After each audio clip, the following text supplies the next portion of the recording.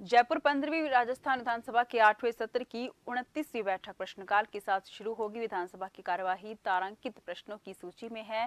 तेरह प्रश्न उत्तरांकित प्रश्नों की सूची में है। सत्ताईस प्रश्न चिकित्सा, कृषि, जल संसाधन जन स्वास्थ्य अभियांत्रिकी, सहकारिता, खाद्य और नागरिक आपूर्ति, अल्पसंख्यक मामला उद्योग, परिवहन, जनजाति क्षेत्रीय विकास ऊर्जा, तकनीकी शिक्षा से संबंधित होंगी सवाल जवाब।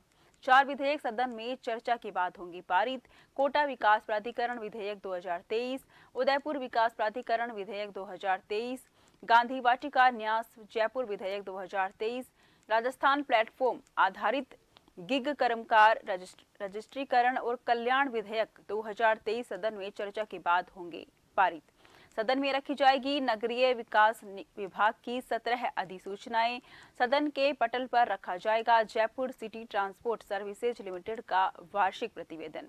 मंत्री शांति धारीवाल रखेंगे सदन के पटल पर। सदन में कार्यवाही के दौरान हंगामे के आसार। राजेंद्र गुड़ा और महिला अपराधों पर हो सकता है हंगामा। कार्य सलाहकार समिति की भी होगी बैठक। विधानसभा अध्यक्ष डॉक्टर सीपी जोशी की अध्यक्षता में होगी बैठक। विधानसभा अध्यक्ष कक्ष में दोपहर एक बजे होगी बैठक। सदन में आगामी दिनों में होने वाले कामकाज पर की जाएगी चर्चा।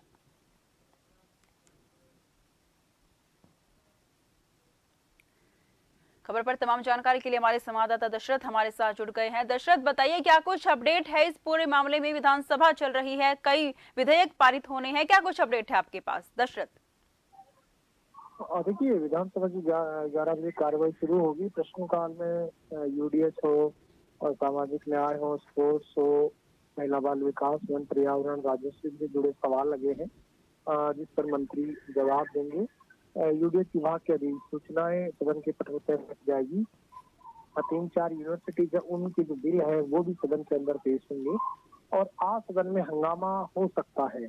क्योंकि राजेंद्र गुड़ा की जो बर्खास्ती हुई थी शुक्रवार को देर शाम, उसके बाद आज सेशन जब शुरू होगा, तब राजेंद्र गुड़ा जैसा उन्होंने कहा कि राजेंद्र गुड़ा सदन में पहुँचेंगे और वो इस बात पर सरकार जवाब सवाल कर सकते हैं।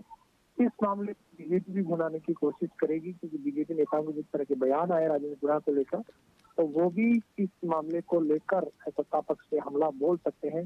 सत्ता पक्ष की तरफ़ से भी रिएक्शन आ सकता है सदन के अंदर। कार्रवाई भी बाधित हो सकती है। ग्यारह बजे सदन की कार्रवाई शुरू होगी और उसमें सबसे पहले अप्रश्न दशरथ, खबर पर तमाम जानकारी के लिए बहुत बहुत शुक्रिया।